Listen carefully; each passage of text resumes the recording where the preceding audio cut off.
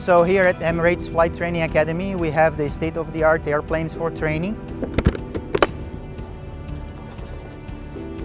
Welcome to the Cirrus 22 airplane.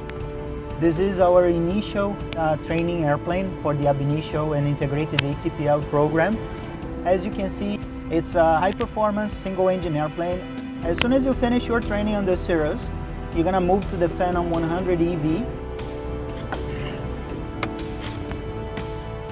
Welcome on board of the Phenom 100 EV. It's a full glass cockpit airplane with three big displays and screens and one touch controller.